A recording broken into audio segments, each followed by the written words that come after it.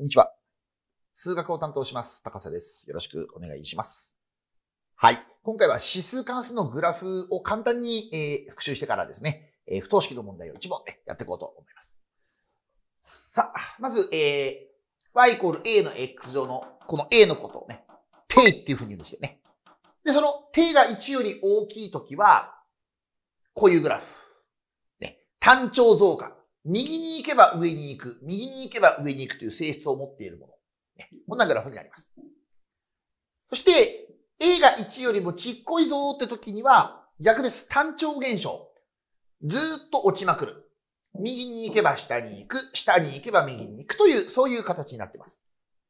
ただどちらも y の値はプラスになるという性質なんで、これはね、えー絶対に記憶しとかなきゃいけないですし、重要なのは、単調増加単調現象ということは、y 一つ決まれば必ず x は一つ決まるということ。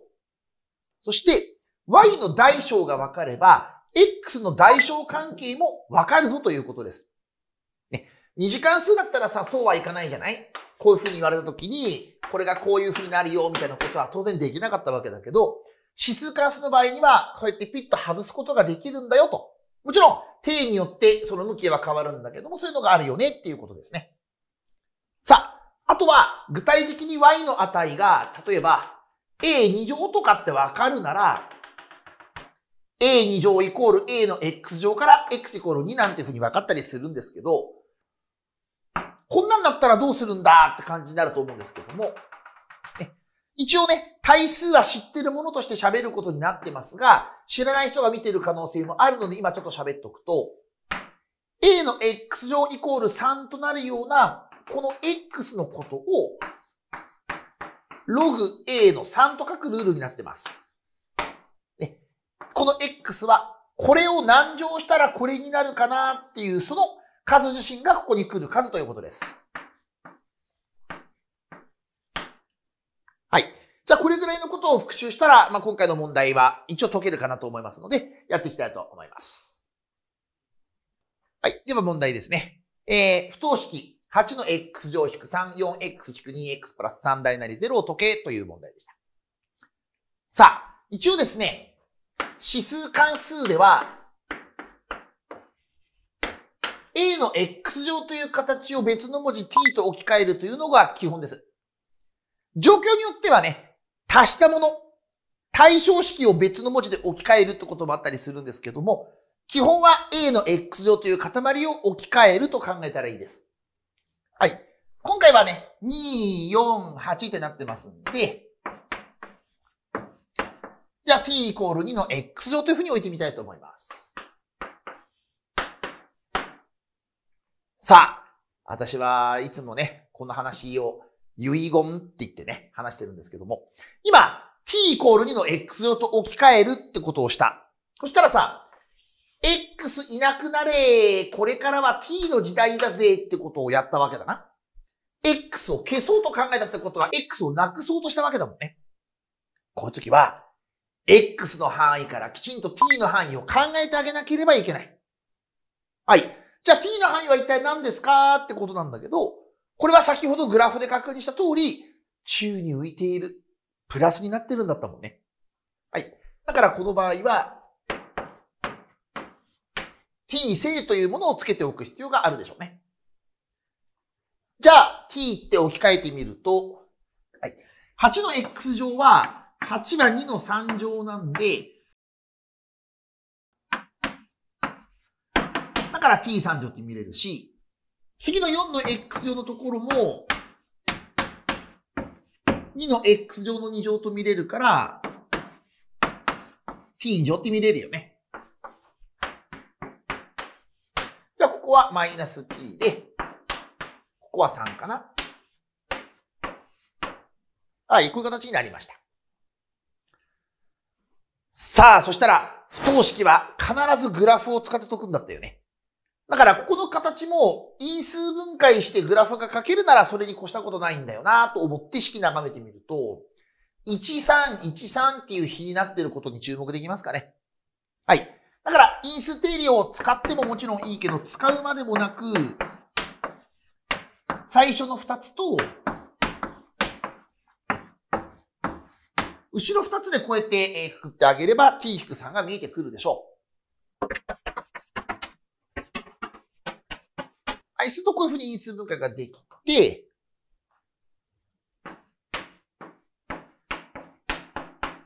t たす1、t 引く1、t 引く3がプラスとなるのかなさあ、この後ですよ。ね、この後。いろんなやり方が考えられますので、ちょっといろいろ見せておこうかなと思いますけども。まず、数2の3時間数まで勉強済みの人は、因数分解でグラフを書くということができることを覚えてますよね。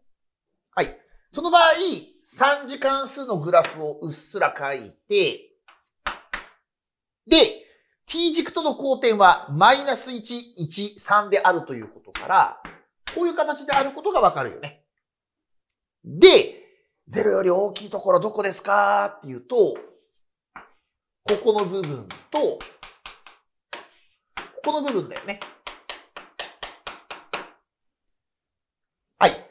ただ気をつけなければならないのは、t 正で考えていたということ。ね。マイナス1から1って言ってる中で、プラスの部分だけを考えるっていうこと。そう考えたら、このグラフの中で、プラスの場所、0から1または3より右側という感じになってきますかね。はい。そしたら t ってなんだっけっていうと2の x 乗なので、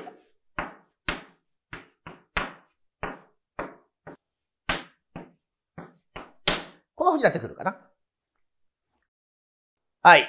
これね、ほんとね、気をつけてほしいなと思うんだけど、これさ、1が2の0乗だから、比較的ミス少ないと思うんだ。こう書いてくれる人多いと思うんだけど、例えばね、ここがね、2とかだったらね、こうやって、んんんんんとかってね、こんな無駄につけ始めちゃう人がいるのね。やめてよ。ちゃんとね、不等式はグラフを使うってことを意識して、いいかい ?2 の x 乗のグラフ、もう一度改めて書くよ。もう一度改めて2の x 乗のグラフを書くと、単調増加だよってことで、こうやって宙に浮くものだったよね。これが t イコール2の x 乗のグラフなわけ。で、縦軸 t の範囲が0と1の間に来るのどこ？って言ったら、ここ全部でしょ。わかる？ここより左側全部なんだよね。だから、x が0より小さければ問題なく全部いけるわけだから、こっちのこれはダミーというかなんていうか自明なものなんだよね。だ書く必要がないものぐらいなものだからさ。もう、ここのところを反映させないでちゃんと対応させてください。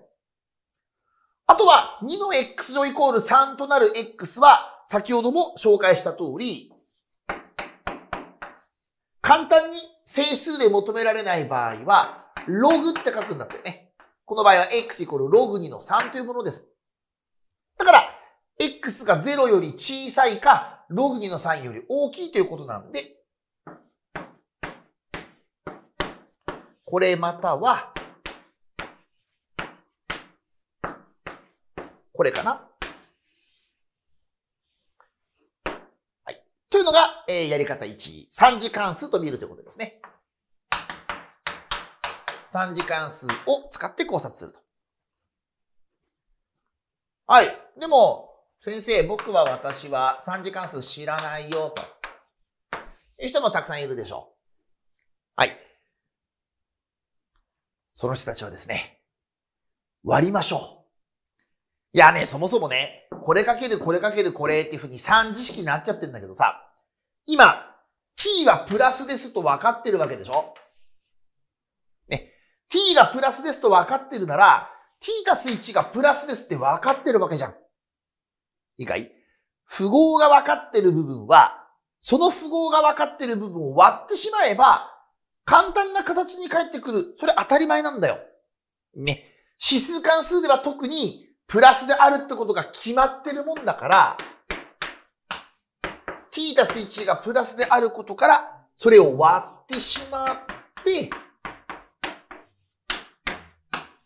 こういうふうにしてあげればよいですね。したらこうなると二次不等式なんで、まあ、やはり同じく t 正であることに注意すると、0から1と3より大きいという形になってくるのかな。ね。